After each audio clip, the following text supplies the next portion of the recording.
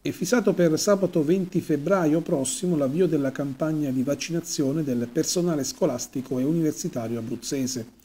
Lo comunica l'assessore alla salute Nicoletta Verì, che ha promosso questa prima giornata in collaborazione con il referente regionale per le vaccinazioni Covid, Maurizio Brucchi. Nel Vaccino Day Scuola-Università di sabato saranno coinvolti i quattro capoluoghi di provincia dove le ASL procederanno alla chiamata del personale scolastico che ha già manifestato l'interesse ad essere sottoposto alla vaccinazione anti-Covid.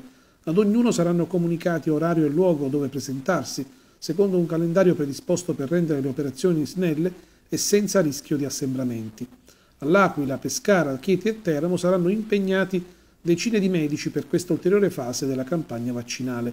Naturalmente, puntualizza l'assessore Veri, si tratta solo della prima giornata, le somministrazioni proseguiranno nei giorni successivi sia negli stessi capoluoghi, perché non sarà possibile vaccinare tutto il personale in una sola giornata, che nelle altre località, sulla base di criteri oggettivi e ben precisi stabiliti da ogni ASL.